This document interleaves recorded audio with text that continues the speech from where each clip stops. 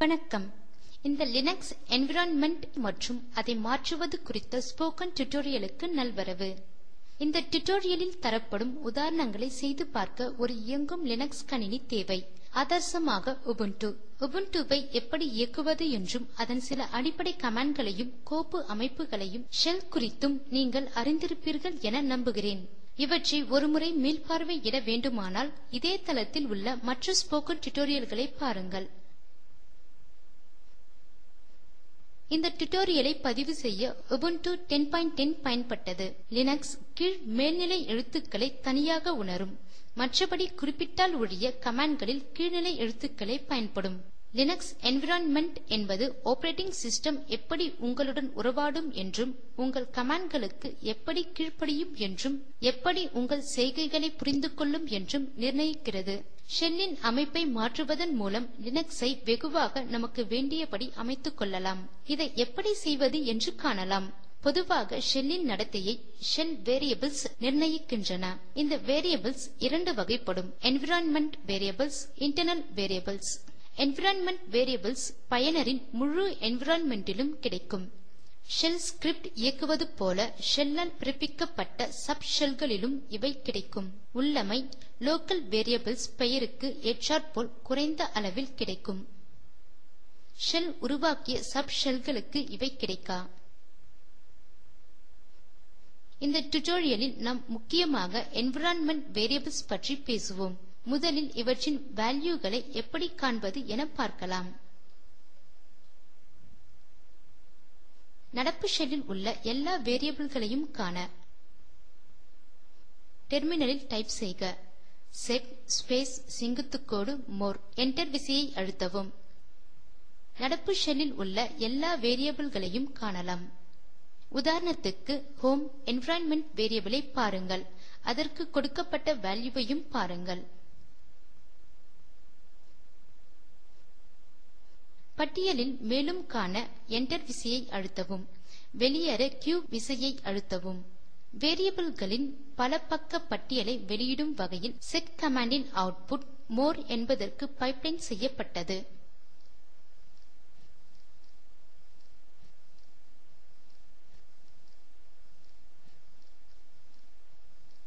Environment வேரியபிள்களை மட்டும் காண கமாண்ட் env டெர்மினலில் டைப் செய்க. E, இஎன்வி ஸ்பேஸ் செங்குத்துக்கோடு மோர். என்டர் விசையை அழுத்தி உள்ளிடுக. உதாரணத்துக்கு ஷெல் வேரியபிள்களின் மதிப்பு ஸ்லாஷ் பின் ஸ்லாஷ் பாஷ் என்பதை கவனிக்கவும். மீண்டும் வெளியேற க்யூ விசையை அழுத்தவும். இப்போது லினக்ஸில் இன்னும் முக்கியமான என்விரான்மென்ட் வேரியபிள்களையும் காணலாம். நாம் மாதிரி இயக்கங்களுக்கு எல்லாம் நாம் பாஷ் ஷெல்லை பயன்படுத்துவோம். ஷெல்கள் ஒவ்வொன்றும் கொஞ்சம் வித்தியாசமாக அமைக்கப்பட்டுள்ளன. ஒரு வேரியபிள் என்ன உண்மையில் வைத்துள்ளது என அறிய நாம் டாலர் குறியை முன்னே சேர்க்க வேண்டும். அத்துடன் எகோ கமாண்டை சேர்க்க வேண்டும். நாம் பார்க்க போகும் முதல் என்விரான்மென்ட் வேரியபிள் ஷெல் அது நடப்பு ஷெல்லின் பெயரை வைத்துள்ளது. ஷெல் வேரியபிளின் வேல்யூவை காண டெர்மினலில் டைப் செய்யவும். எகோ ஸ்பேஸ் டாலர் மேல்நிலை எழுத்துக்களில் எஸ்ஹெச்இஎல்எல் என்டர் விசையை அழுத்தவும்.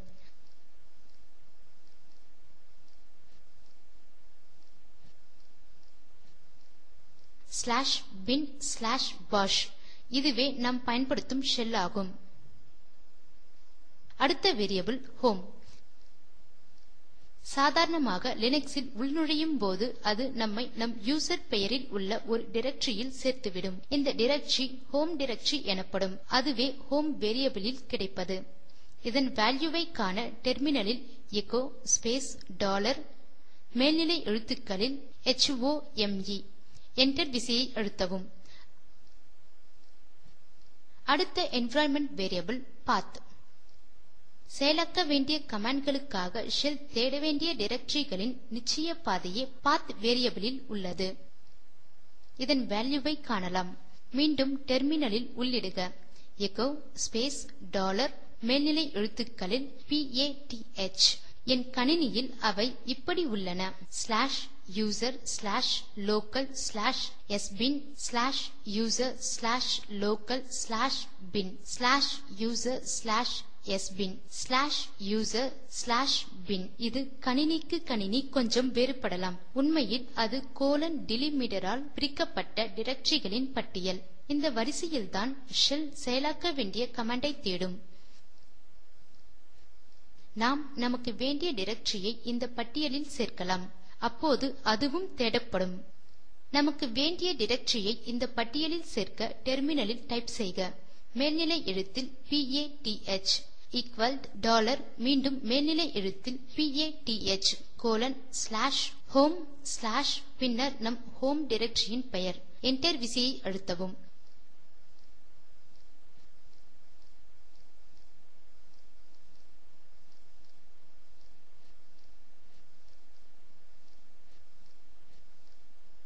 இப்போது பாத் வேல்யூவை எச்சோ செய்தால்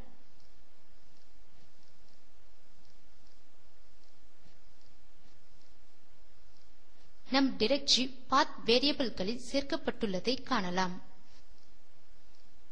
இங்கு அந்த டிரக்டரி உள்ளதை பாருங்கள். இன்னொரு சுவாரஸ்யமான வேரியபிள் லாக் நேம் நடப்பில் செயலாக உள்ள யூசரை இது கொண்டுள்ளது. இதன் வேல்யூவை காண எகோ ஸ்பேஸ் டாலர் மேல்நிலை எழுத்தில் லாக் நேம் என டைப் செய்வோம்.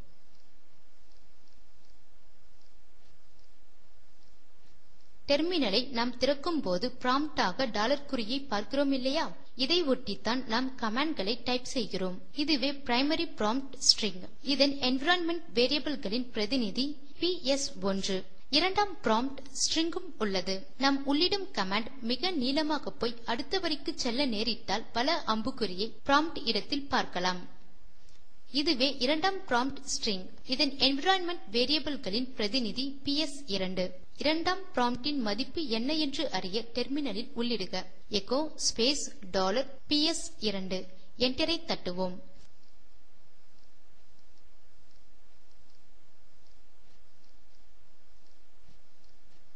நம் முதன்மை prompt string at the rate என்னும் குறியாக மாற்றி அமைத்துக் கொள்ளலாம். இப்படி செய்ய டைப் செய்வோம். மேலெழுத்தில் ps1 ஈக்வல் மேற்கோள்களுக்குள் அட் த ரேட் என்டரை தட்டுவோம்.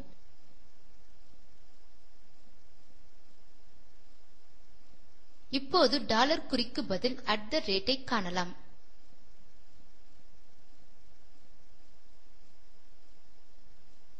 கொஞ்சம் சுவாரஸ்யமான வேலை செய்யலாம்.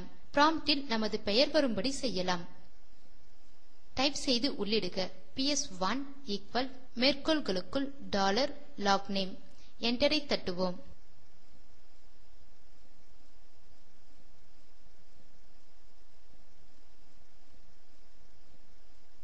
இப்போது ப்ராம்ப்டில் என் பெயர் இருக்கிறது. மீண்டும் பழையபடியாக்க ps1 ஈக்வல் மேற்கோள்களுக்குள் டாலர் என்டரை தட்டுவோம்.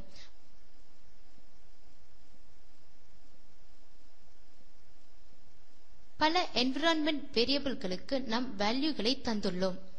ஆனால் இந்த மாறுதல்கள் எல்லாம் இந்த நடப்பு அமர்வுக்குத்தான் என்பதை நினைவில் கொள்க. உதாரணமாக நாம் ஒரு டிரக்டரியை பாத்தில் சேர்த்தோம்.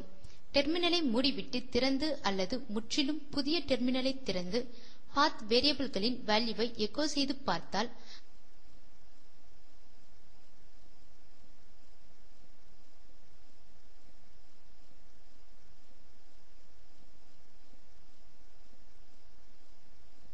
மாறுதல்களும் போய்விட்டன என்பதைக் கண்டு ஆச்சரியப்படலாம். இந்த மாறுதல்களை எப்படி நிரந்தரமாக்குவது என்பது இன்னொரு அட்வான்ஸ் டியூட்டோரியலுக்கான பொருளாகும். அடிக்கடி சமீபத்தில் இயக்கிய ஒரு கமாண்டை மீண்டும் இயக்குகிறோம். இதற்கு என்ன செய்ய வேண்டும்? முழு கமாண்டையும் மீண்டும் உள்ளிட வேண்டுமா? இல்லை பல தீர்வுகள் உள்ளன. முதலில் விசைப்பலகையின் மேல்நோக்கு அம்புக்குறி விசையை அழுத்தினால் கடைசியாக உள்ளிட்ட கமாண்டை காணலாம். அந்த விசையை அழுத்திக் கொண்டே இருக்க முந்தைய கமாண்ட்கள் ஒன்றன் பின் ஒன்றாக வரும். பின் செல்ல கீழ்நோக்கிய அம்புக்குறி விசையை அழுத்தலாம். ஹம். ஆனால் இப்படி மேலும் கீழும் போவது கொஞ்சம் சலிப்பான விஷயம். இதை காட்டிலும் நல்ல தேர்வு ஹிஸ்டரி கமாண்ட் ப்ராம்ப்டில் ஹிஸ்டரி என டைப் செய்து உள்ளிடுங்கள்.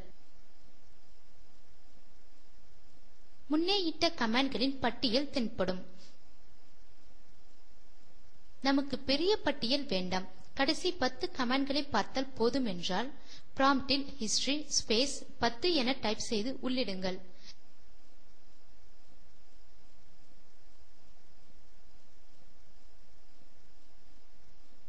இந்த பட்டியலில் ஒவ்வொரு முன்னிட்ட கமாண்டுக்கும் ஒவ்வொரு எண் கொடுக்கப்பட்டுள்ளது. ஏதேனும் ஒரு கமாண்டை திருப்பியும் தட்டச்ச ஆச்சரியக்குறியை டைப் செய்து கமாண்டின் எண்ணை உள்ளிடுக. உதாரணமாக எண் பட்டியலில் ஆச்சரியக்குறி 442 என்பது எகோ ஸ்பேஸ் டாலர் பாத் கமாண்டை இயக்கும்.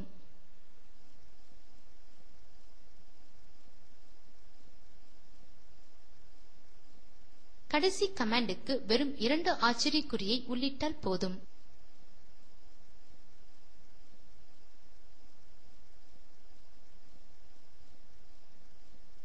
அடுத்து பார்க்கக்கூடியது டில்டே சப்ஸ்டியூஷன் இந்த டில்டே குறி ஹோம் டிரெக்டரிக்கு சுருக்கு வழி. உதாரணமாக உங்கள் ஹோம் டிரெக்டரியில் டெஸ்ட்ரி என்று ஒரு டிரெக்டரி இருப்பதாக வைத்துக் கொள்வோம் இப்போது சிடி ஸ்பேஸ் டில்டே ஸ்லாஷ் டெஸ்ட்ரி என உள்ளிட்டு அங்கு சென்று விடலாம். நடப்பு ஒர்க்கிங் டிரெக்டரிக்கும் கடைசியாக வேலை செய்த டிரெக்டரிக்கும் சிடி டில்டே மைனஸ் அல்லது சிடி மைனஸ் கமாண்டால் முன்னும் பின்னும் செல்லலாம். உதாரணமாக இப்போது டெஸ்ட்ரி டிரக்டரியில் இருக்கிறோம். கடைசியாக நாம் இருந்தது home directory CD space minus கமாண்டை உள்ளிடுக. நம் ஹோம் டிரக்டரிக்கு சென்று விட்டோம். அதையே மீண்டும் இயக்க டெஸ்ட்ரி டிரக்டரிக்கு சென்று விட்டோம். கடைசியாக ஆனால் முக்கியமாக நாம் பார்க்க போகும் கமாண்ட் அலையஸ் கமாண்ட் மீண்டும் மீண்டும் இயக்க வேண்டிய ஒரு நீளமான கமாண்ட் இருப்பதாக வைத்துக் கொள்வோம் அப்படியானால் இதற்கு ஒரு சிறிய மாற்று பெயரிட்டு கமாண்டை இயக்க இதை பயன்படுத்திக் கொள்ளலாம். உங்களது டிரக்டரி அடுக்கு மிக பெரியதாக இருந்து இசை டிரக்டரிக்கு செல்ல மிகப்பெரிய பாதையாக இருக்கிறது என்று வைத்துக் கொள்ளலாம். அதற்கு இப்படி ஒரு அலையஸை உருவாக்கலாம். டைப் செய்து உள்ளிடுக. Alias space CD music equal இரட்டை மேற்கோள்களில் CD space slash home slash ARC slash files slash entertainment slash music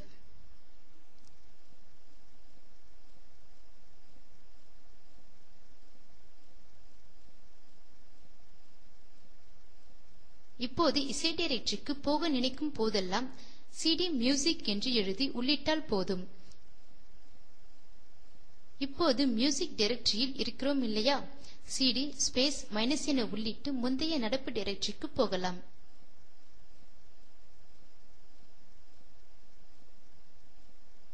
இந்த அலையஸ் அமைப்பை நீக்க சும்மா அன்அலையஸ் ஸ்பேஸ் சிடி மியூசிக் என எழுதி உள்ளிடலாம்.